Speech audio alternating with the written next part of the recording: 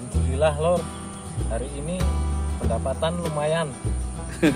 Dan lumayan banget nih King Hmm. Wih, besar besar lagi. besar besar ya dan spotnya menjanjikan meyakinkan. Oke lor. Oleh tuh. Ini dapatnya hari ini. Wah,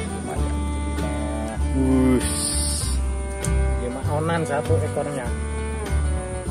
Jadi 6 ekor ini 3 kilo kurang lebihnya